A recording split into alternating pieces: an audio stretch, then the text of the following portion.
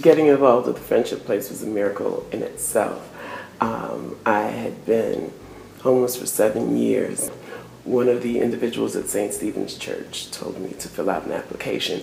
And by then I was jaded, but I did fill out the application, and in two weeks uh, I had a place. Unbelievable. Hello, ladies and gentlemen. Today is the best day of my life. We're here to honor Candi, a great friend of mine, a great associate.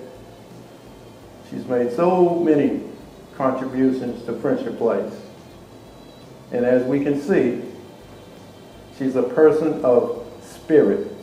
Even though Candi sometimes is dealing with hardship, severe hardship, she never lets that stop her from continuing her mission to give back.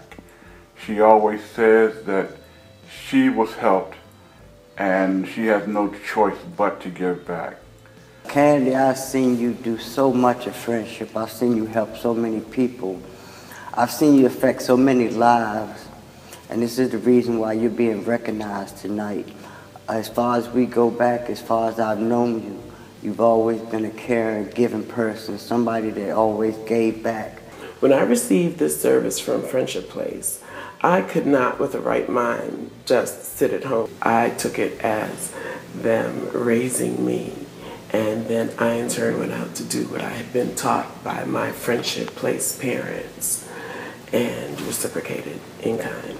It's just a great honor to have known you, to know you. I congratulate her on this award and wish her the very best in her future. And I'm just so happy for you. And I just, you know, we're going to have a little party later on afterwards. Don't tell nobody. But I just want you to know that I'm just so proud of you. I'm happy that you're getting this award. And it's hopefully there's more good things to come to from you. I keep having the, this nightmare that they're going to call and say, no, it wasn't you, Candi Darley, it was for Randy Arley.